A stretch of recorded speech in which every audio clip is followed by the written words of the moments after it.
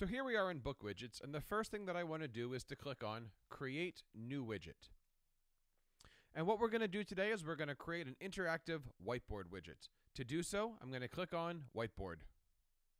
Here's our whiteboard dialog, and what we're going to do is we're going to create a world map that we can interact with both as a teacher and with our students. Under title or question, I'm going to type in world map. The next thing is we want a background image. In order to do so, I'm going to click on the plus. I can choose an image, import from Google Drive, or find an image online. I'm going to click this. I'm going to click on World Map. And you can see it automatically searches for a number of great looking images. I'm going to choose this one right here. You'll notice that we have a few different options here. We can have this image automatically in the background, or by clicking on this, it'll automatically put the image on top so we can do things with it. I'm going to leave this unchecked. We can also choose to not resize the image or cover the entire area, keeping the aspect ratio, or just contain an entire picture, but keeping the aspect ratio. I'm going to choose this second option.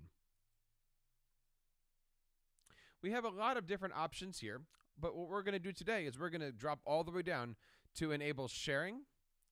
So I can have a sharing button.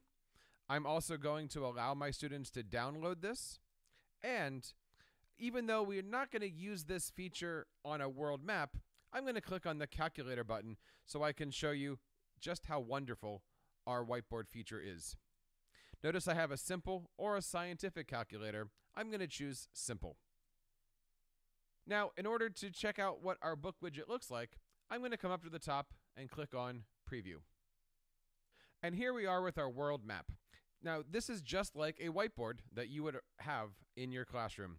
Down here, we have some different options. We, we can undo, we can redo, we can zoom in, zoom out. But here we are on our brush tool. I'm going to select this, select on brush, and you'll notice that I can draw anywhere on this whiteboard that I want and so can my students. I can not only use it as a brush, I can even change the brush size, or by clicking on this, I can change the color. If I wish to get rid of this and erase it, I can click on the trash can and clear the image. Notice up here, I've got the options that I selected previously. I can opt to have my calculator up. I can also share this by email with a little optional message. Additionally, these two buttons here allow me to download this map as an image or as a PDF. And finally, I can email this or delete it completely.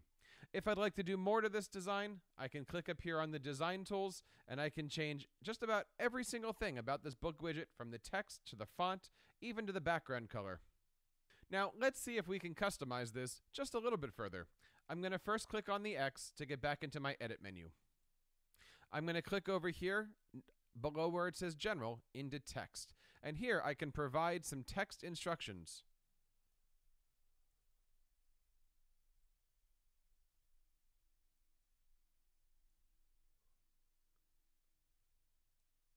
Now, when we hit preview, these directions are going to show up right here in the middle.